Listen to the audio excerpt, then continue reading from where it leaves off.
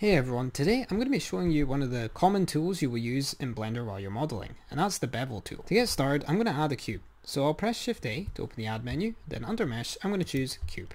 Then to start modeling, I'm going to press tab to go into edit mode. Then I'm going to press 3 on the keyboard, and I'm just going to left click this top face here, and then I'm going to press 2 on the keyboard to go into edge select. You can notice that down here, there's an option here called bevel on the toolbar, and if I left click this, you can see a yellow circle will appear and I can just left click and hold it to start beveling. Something else you'll notice as well is there's a little box at the bottom here called bevel. And if I left click to open it, you can see I can adjust more of the settings here. Do keep in mind though, if you click away, this menu will disappear. I'll press Ctrl Z to undo that. You'll also notice here that we can set the segments of the bevel. So for example, I could set it to free, for example. And now when I left click and drag, you can see it's created free bevels. I'll press Ctrl Z to undo that. We also have a shape here. And if I change this parameter and then left click and drag, you can see how it's going to start altering the shape. I'll press Ctrl Z to undo that. You also notice there's an option here called offset and this will determine the way in which the bevel is calculated. But to be honest, this isn't the way I usually bevel things as I don't tend to use this toolbar much in edit mode. I'm going to come back to my select box and left click it because that's the default. And instead of using that bevel tool, we can simply just press Ctrl and then B, and that's just going to do the same operation. You'll notice it will save all the settings that we've had from that bevel tool, but I can easily reset them. For example, I could set my shape, which I altered, back to 0.5 and I could set my segments here back to 1 so they're now the default. I'm going to rotate around to the bottom of my object here and if I press 2 on the keyboard and then left click this edge here what you'll notice is you can bevel even just a singular edge and you can also scroll your mouse wheel to increase the segments as you bevel. Another cool thing you can do if I press 1 to go into vertex select mode and left click one of these vertices here and then press Ctrl and then B and then left click nothing will happen yet but if I open my bevel menu and change it to effect from edges to vertices You'll notice I can now bevel a single vertex as well. If I press Ctrl Z to undo that, I can also shift left click another vertex here, and when I press Ctrl B, by default it's going to bevel it like normal, but I can change it in this menu here to affect vertices, and now you'll notice I can get it to bevel just a vertex at a time instead. I'll press tab to come back into object mode, and I'm just going to press G and X to move my object along. Something to keep in mind with using the bevel tool is sometimes it's actually more optimal to use the bevel modifier instead. This is because the bevel modifier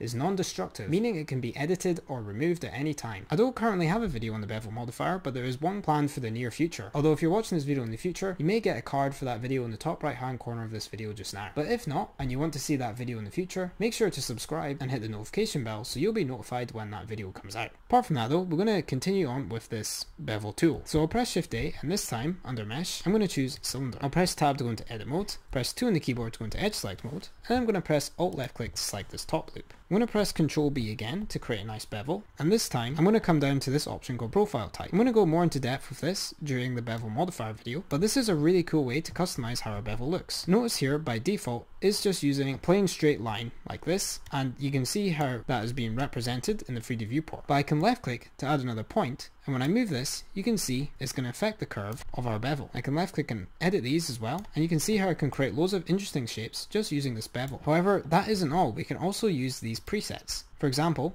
I could set the preset to steps as I demonstrated in another video. We also have a crown molding which we don't really have enough geometry for so what I will do is come to the top and I'm just going to increase my segments and you can notice how we get a really cool effect now. This could be awesome for creating a column. We also have a cornice molding as well so you can see there's already quite a few cool presets built into Blender to help us create some cool bevels. If you want to turn it back you can change back to super ellipse which is the default.